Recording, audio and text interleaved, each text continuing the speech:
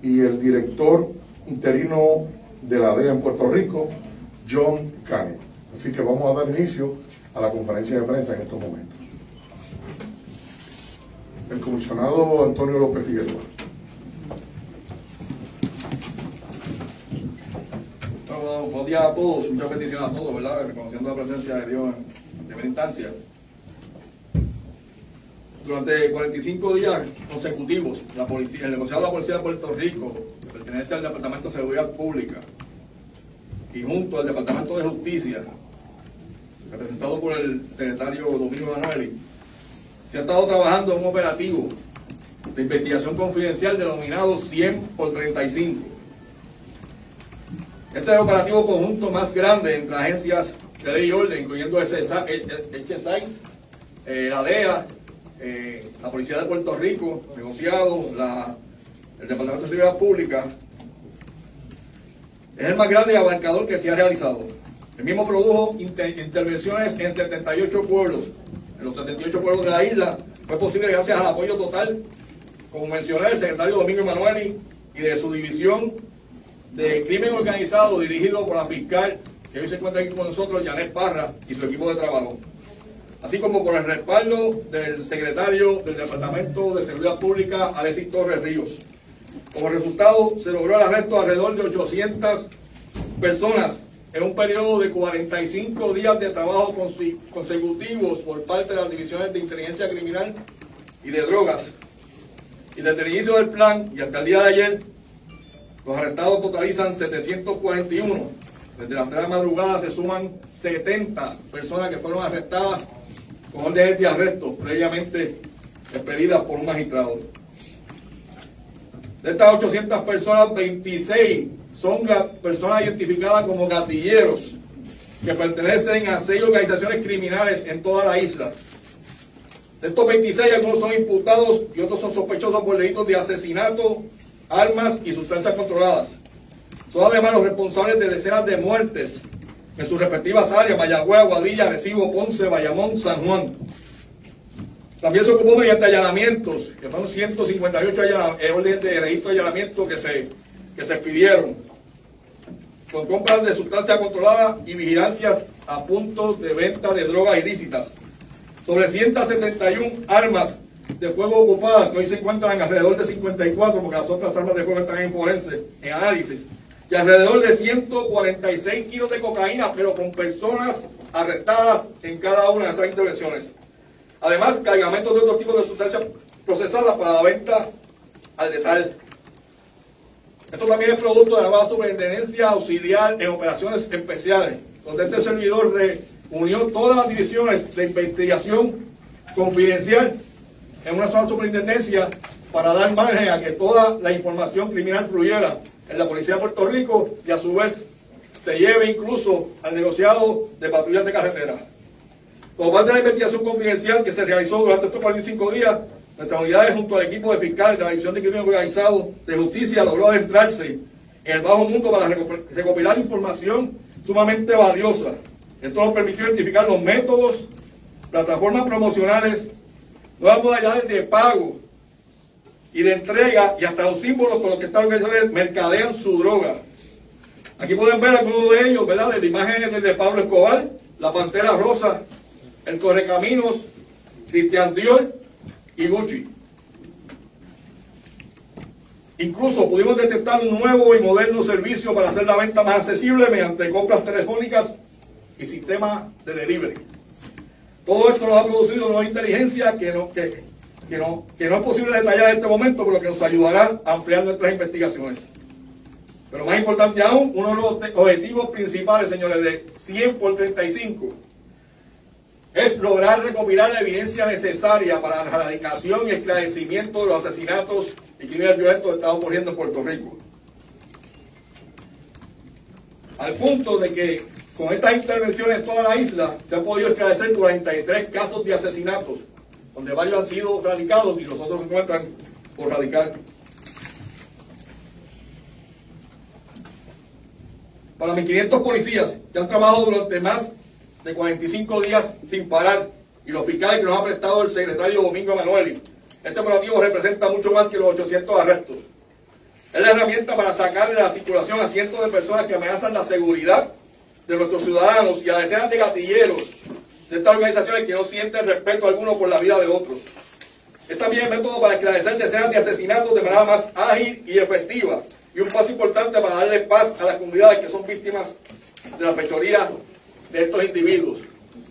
Por ende, la percepción de impunidad que existía antes de enero, actualmente con la ayuda total de la Fiscalía de Puerto Rico, el Departamento de Justicia, con las agencias federales que se encuentran con nosotros hoy, quienes están mano a mano con nosotros, le podemos decir a Puerto Rico claramente que estamos trabajando por ustedes en equipo y por garantizarle la seguridad a todo Puerto Rico.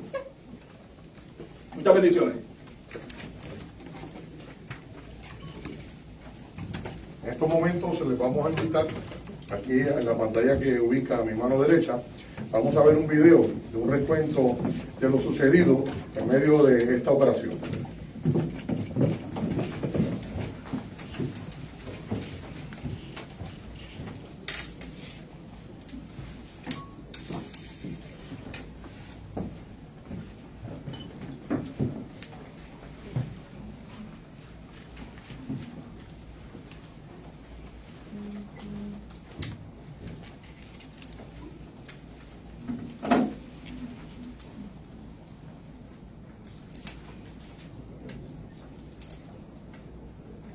¿No hay manera de saber la perla? Son diferentes lugares. Se les va a proveer copia a todos ustedes, el del original, ¿ok?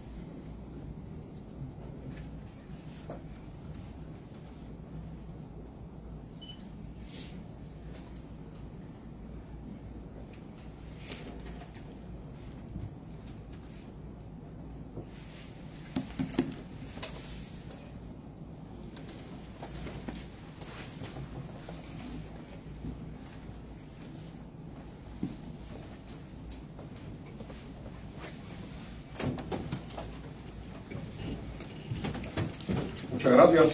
En esta ocasión, pues, escucharemos el mensaje por parte del secretario del Departamento de Justicia.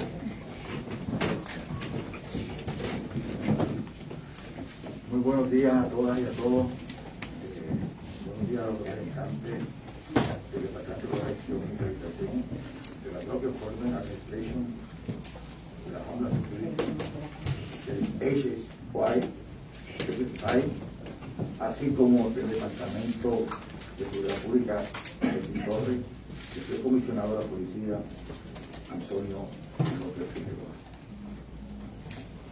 Para mí y para el departamento que yo dirijo, esto significa momento trascendental e histórico, porque hombres y mujeres de este país, de Puerto Rico, tanto de la policía de Puerto Rico, del Departamento de Seguridad Pública, como de la Fiscalía de Puerto Rico, el Departamento de Justicia, han llevado un operativo histórica, histórico donde se han arrestado 800 criminales en el término de 45 días.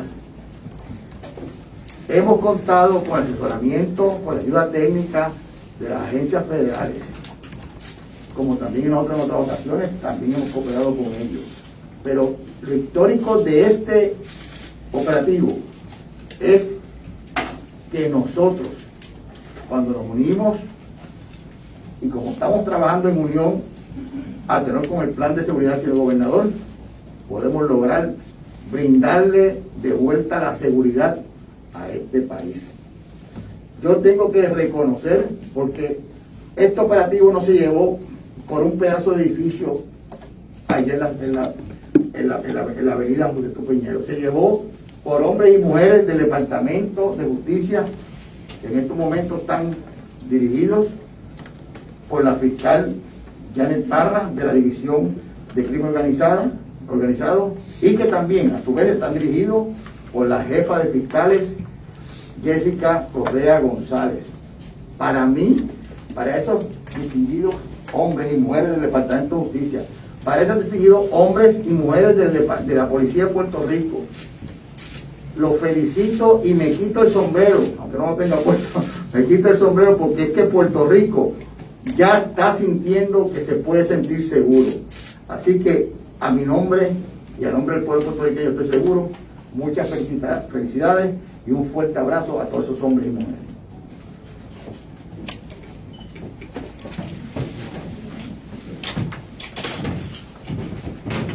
En esta ocasión, debo ante ustedes al secretario del Departamento de Seguridad Pública, Alexis Torres. Muy buenos días a todos. Reconozco la presencia del secretario de Justicia Domingo Manueli, del comisionado del negociado de la policía Antonio López, del personal de las agencias federales aquí presentes, de todos los fiscales y de cada uno de los policías orgullosos en el día de hoy que lograron los resultados de este exitoso operativo. Este operativo se llevó a cabo en conjunto entre el negociador de la policía y la División de Crimen Organizado del Departamento de Justicia, con el apoyo de las agencias federales, demuestra este operativo, una vez más, el trabajo en equipo obtenemos mejores resultados. Como explicó el comisionado, son alrededor de 800 arrestos en 76, 78 municipios. Eh, se ocupó más de 170 armas, sobre 140 kilos de cocaína, pero lo más importante es que tenemos 26 gatilleros sospechosos de asesinato en un procedimiento criminal están fuera de las calles de Puerto Rico. Agradezco infinitamente la labor de todos, de una forma de la participación de este operativo, cumpliendo con su compromiso de proteger las vidas y propiedades, de sacar de circulación a estos delincuentes, manteniendo nuestras calles más seguras. El Departamento de Seguridad Pública continuará apoyando a nuestro negociado de la policía, continuará trabajando mano a mano con el Departamento de Justicia. Gracias a todos y que Dios los bendiga.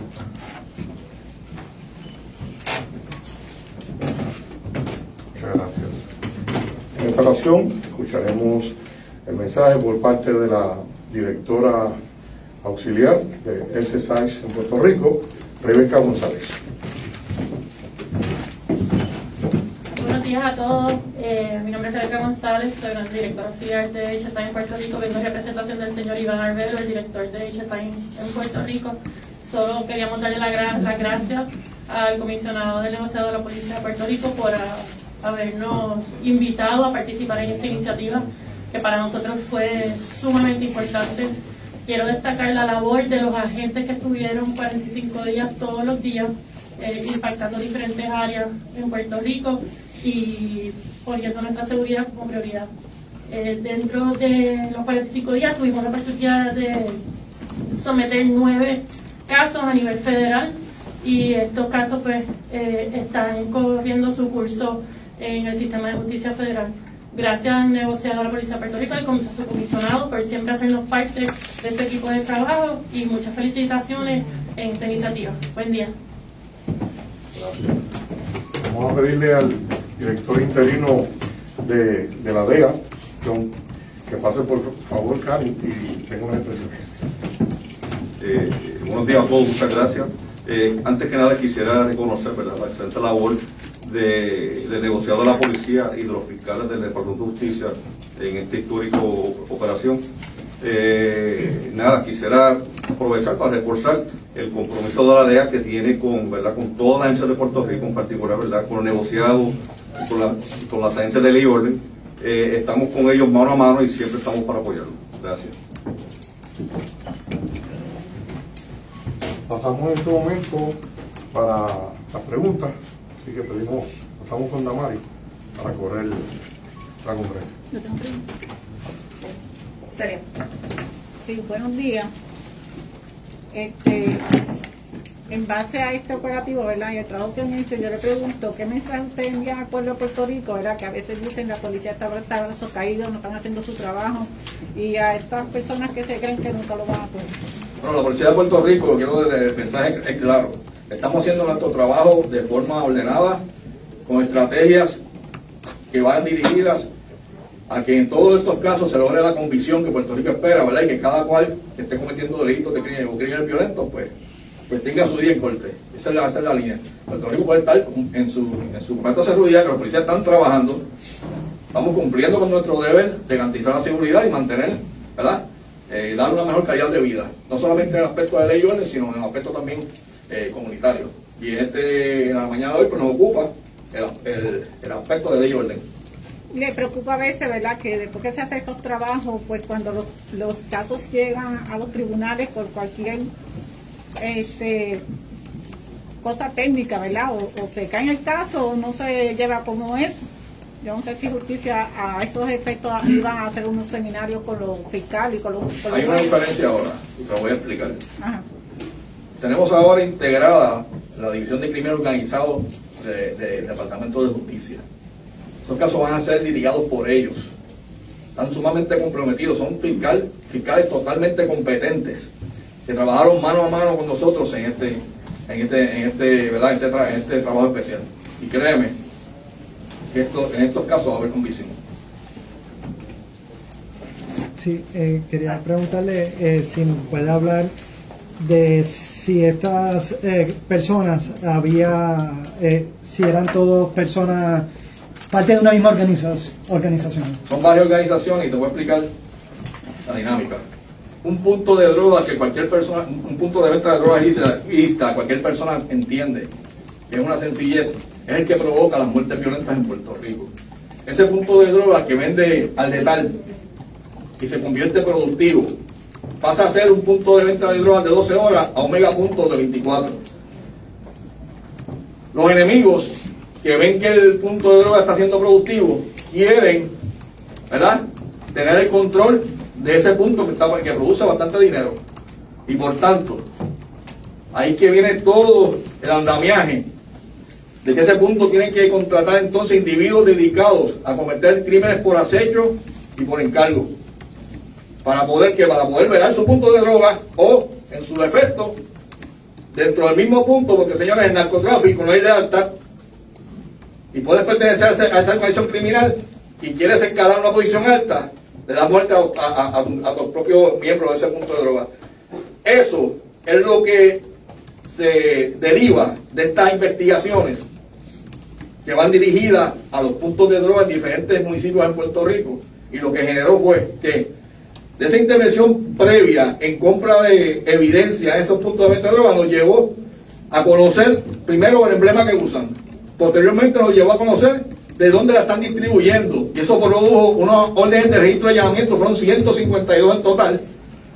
Y esas 152 intervenciones nos produjo los gatilleros que veran eso, ese área de almacenamiento. Y por eso es que hoy 26 de ellos se encuentran bajo, eh, bajo la reja por este, por este plan de trabajo.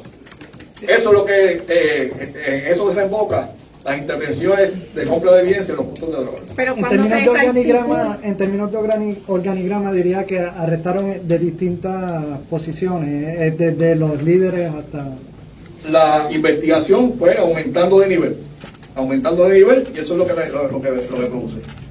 Mi secretario, este comisionado, pero cuando se desarticulan estos estos puntos, ¿verdad? Hay veces que es peor, se genera una guerra más fuerte, ¿están preparados o qué seguimiento va a seguir? Nosotros mitigamos posteriormente a las intervenciones, mitigamos en, esa, en esos puntos de droga, ¿verdad? Eh, ya sea conocido que vayamos desarticulados, pero decía con prevención y con intervenciones continuas, vamos a, a, a trabajar con ellos. Saludos. ¿Hay, hay forma, si pueden explicar, eh, porque me llamó la atención el asunto que ustedes descubrieron del delivery y el método de pago. ¿Hay forma que ustedes puedan explicar ese asunto? ¿Cómo es que entonces ahora pues usted llama, pide, se la llevan a la casa y usted paga con el teléfono? O sea, algo así es para... Exactamente y, y eso qué, mismo. ¿Y por qué no entonces entró jurisdicción? Porque ya, ya aquí habría entonces algo federal con el Bueno, estamos, esas investigaciones se están llevando a cabo en coordinación con las agencias federales. Pero puede explicar el, el método. O El sea, método es que estás, que, que estás describiendo que tiene un nombre por ahí para no anunciar a nadie. Pero es el método ese de que tú me envías dinero por teléfono. Pero están utilizando una aplicación en específico. Está- La, la investigación, la, la- la- la plataforma como tal es la que se utiliza. Pero. Pero es que, es que todavía no. O sea, Explique. Lo, explicarlo porque es que lo llamado a Tacha Móvil. Está usando TH Móvil. A Tacha Móvil, eso mismo es. ¿Y esa, ¿Y esa compañía está cooperando con esta investigación? No voy a dar datos adicionales, ¿verdad? Pero es a Tacha Móvil. Pero ven aquí. Sí, este, eh, estaba buscando la- el- por el comunicado, pero ¿cuáles fueron las regiones más impactadas por este operativo? ¿Dónde se Bueno, la región norte, la región sur y la región oeste. ¿Y a municipios?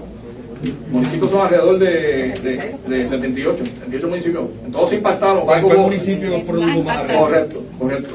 Este, área de oeste, área norte, eh, todo, todos produjeron arrestos. Pero en el listado de los municipios, eh, ¿cuáles fueron los que más... Oeste, norte, sur, todo. Es que, es que, es que estamos hablando de 800 arrestos aproximadamente y todas las áreas policíacas produjeron arrestos. Y Y buenos arrestos, arrestos con kilos de droga, arrestos con armas de fuego, buenos arrestos. Y en cuanto a los casos federales que también se produjeron, si no- Correcto, hay varias personas que se intervinieron, hay personas que ya tenían este convicción previa y la agencia federal entonces procedieron a, a, a, a- a tomar jurisdicción del caso. ¿Cuántos asesinatos pudieran estar vinculados a este grupo de gatilleros? 43. 43. 43. El comisionado, tengo una observación y después una pregunta. En ese video apenas yo vi a gente con chalecos a prueba de balas haciendo los arrestos. Las divisiones, eh, te voy a explicar. Posiblemente no se ven visibles, posiblemente lo tengan por dentro, porque compramos unos chalecos nuevos, que son los que se son in- eh, inside, lo que llamamos inside. o inside. Sí. La pregunta, desde el 1900, perdón, desde el 2016 no se hacen arrestos por prostitución. Ya no hay prostitución en el país. Debe haber prostitución, lo que pasa es que hoy nos ocupa los crímenes violentos. Los crímenes violentos nos ocupa en la, en la- en la mañana de hoy. En su momento, cuando hagamos un operativo de prostitución, pues lo damos a la luz pública. O sea que esta organización, este narcotraficante, estos gatilleros, nada tienen que ver con uno de, los, de las ramas más lucrativas del crimen. Seguro que le pueden tener, pueden tener, no te puedo decir que no, pueden tener, pero lo que nos ocupa ahora son los crímenes violentos dirigidos a minimizar, ¿verdad? La incidencia de asesinato y no solamente minimizar, que se erradiquen los casos, los casos por asesinato. Miguel, ¿estás listo? Próximo. ¿Quién? ¿Alguien más? ¿Alguien más? Secretario, No, eh, no, para, no, tema. No, no, no. El mismo tema Ah, todavía. no, el mismo No.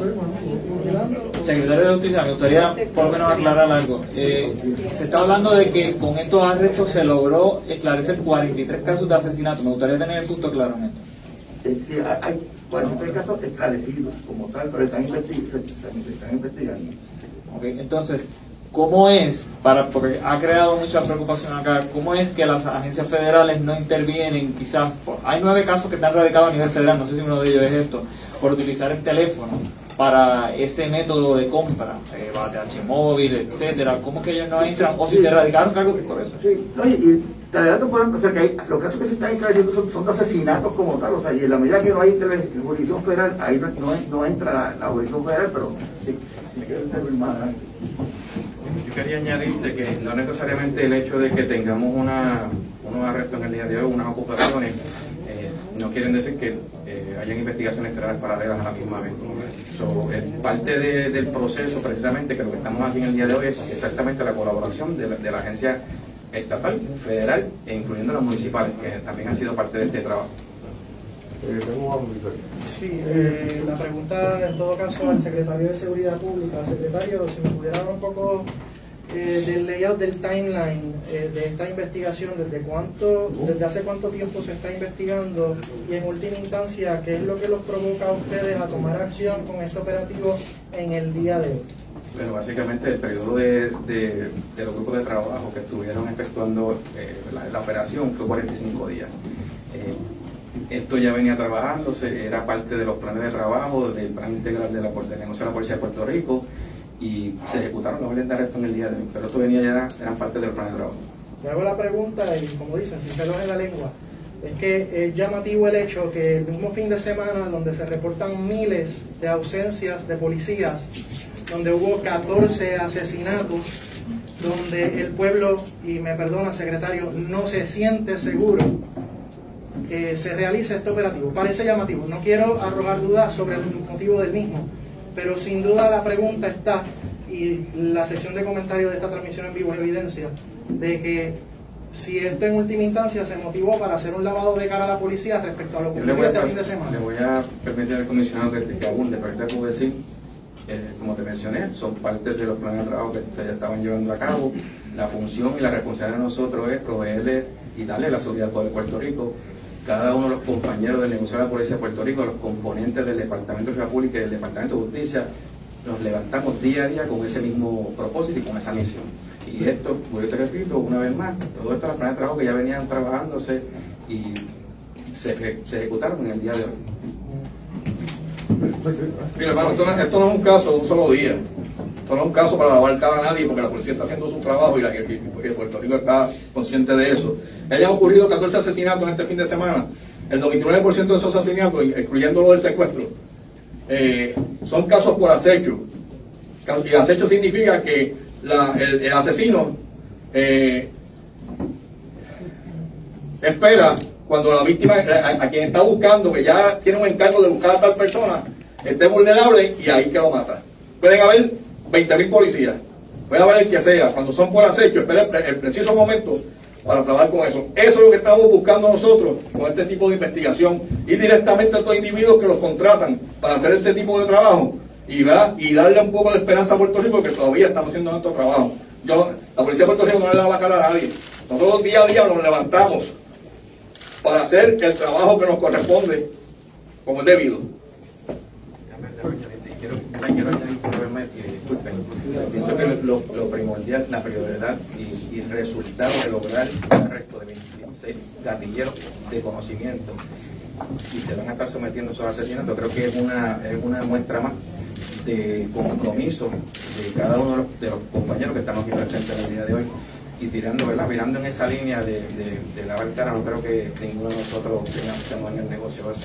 Estamos en el negocio de, de arrestar personas y de hacer, de velar por la seguridad del pueblo de Puerto Rico. Secretario, por último, Secretario, por, por último, Deme un segundito que la fiscalía le para que diga montar Muy buenos días a todos. La realidad es que esto que ustedes ven desplegado aquí no se logra en dos días. Hace 45 días atrás, la policía de Puerto Rico y los seis fiscales que hoy me acompañan, que me gustaría que estuvieran aquí, comenzamos una labor ardua de investigación. Y esa investigación ha sido por 45 días. No fue con el propósito de lavarle la cara a la policía de Puerto Rico, porque como usted podrá ver, es un trabajo arduo. Y hace 45 días atrás no conocíamos del paro de este fin de semana. Así que este trabajo que está aquí es el producto de todos esos días de trabajo, de estos hombres y mujeres valientes, de los miembros de la policía de Puerto Rico, que muchos de ellos como agentes encubiertos estuvieron en peligro su vida para lograr que Puerto Rico tenga un, poco de paz. Así que cada uno de nosotros está comprometido, no solamente con las agencias estatales, sino con las federales. Nos hemos reunido. Esto es el esfuerzo de muchas horas de planificación, de trabajo, de reuniones, para poder lograr juntos atacar la criminalidad y la violencia que arropa nuestro país. Es un compromiso de nuestros secretarios, es un compromiso del negociado de la policía y es un compromiso de la División de Crimen Organizado que está aquí hoy todos juntos, unánimes, para lograr hacer grandes cosas, porque sabemos que juntos podemos hacer y devolverle al país la paz que tanto necesita. Así que la ciudadanía tenga la, la certeza de que este no es un trabajo que se ha hecho en dos días para hablar de que la policía está haciendo su trabajo, es que la policía lleva haciendo su trabajo hace mucho tiempo. Si Carmen permite, secretario Manuel, durante este curso, durante este tiempo de esta investigación, veo en un organigrama una serie de arrestos de individuos acusados por asesinatos en Mayagüez. Pero también durante este tiempo mataron a un testigo de ese caso y otro apareció misteriosamente muerto en, en el albergue justamente a principios del mes pasado. Eh, ¿Qué estatus está lo del albergue? Todo eso se está investigando, el albergue, como tú bien debes saber, se, se está, este, re- este, está mejorando, se se ha limpiado, se, se está dándole el mantenimiento que tienen que dar. Sin embargo, quiero que sepa que todos los casos que usted ha mencionado se están investigando en el Departamento de Justicia por distintas, agencias, ya sea este, la Fiscalía General o si hubiera algunos casos de crimen violento, pues están investigando. Así que la investigación está abierta en todo momento. La muerte albergue no se sabe todavía. Se está investigando, se está, se está investigando no solamente en el aspecto criminal, sino en el aspecto administrativo también. Próximo. Sí, eh, una última pregunta en cuanto a esa misma línea de pensamiento. Yo antes de hago el énfasis de que la pregunta no viene motivada por cuestionar la labor de la policía de Puerto Rico, pero es una pregunta que se tenía que hacer y inquieta al país. Y después de todo, si hacemos la pregunta, ustedes tienen la oportunidad de contestarla. Eh, quisiera finalizar, secretario, si usted me pudiera eh, abundar un poco. Eh, sin duda, la policía está haciendo un trabajo, pero eh, este problema obrero patronal que están enfrentando los oficiales están afectando de alguna manera la, ¿verdad? Los, procesos. Sin duda, hubo un sinnúmero de ausencias este fin de semana que de alguna manera afectaron las, lo- lo- los trabajos de seguridad que se le ofrece al pueblo. Eh, la pregunta viene a ser, no en última instancia les preocupa a ustedes los, los jefes del orden público en Puerto Rico, de las agencias que mantienen el orden público en Puerto Rico, que esta situación dentro de la policía de Puerto Rico exacerbe la criminalidad o por lo menos le dé motivos a esas personas que, como describió el comisionado hace unos minutos, que realizan crímenes por acecho, determinen, ah, como este es el fin de semana que los policías van a estar ausentes, este es el fin de semana que vamos a matar 14 personas. Yo creo que, que ¿verdad? Estás mencionando un número eh, muy específico. Yo te puedo decir que cada, este de cada uno de los, co- de los compañeros eh, y de los equipos de trabajo, tanto municipal, estatal y federal, el enfoque es los planes de trabajo y, y precisamente cómo eran por la seguridad del pueblo de Puerto Rico. Y ese es el enfoque. No nos, no nos vamos a desenfocar en pensando en, en esas situaciones, sino nos enfocamos y gastamos la energía en planificar y trabajar los planes de trabajo para velar por el pueblo de Puerto Rico. No hay preocupación alguna de que estos problemas terminen Mira, afectando. yo no te puedo decir que no haya preocupación, yo sí te puedo decir que no- el enfoque de nosotros es estar eh, evolucionando constantemente y los planes de trabajo se van a seguir efectuando y llevando a cabo. Pero ustedes van a ir a exigir a la, Junta, donde sea, porque esta situación, imagínense que tengamos el fin de año otro paro más y otro paro, porque lo están diciendo que hasta que no resuelvan esa situación, ellos van a seguir haciendo acciones. ¿Cuánto, cuánto tiempo va a ser este asunto de que hay otro paro, otro, otra semana de tres días de brazos caídos?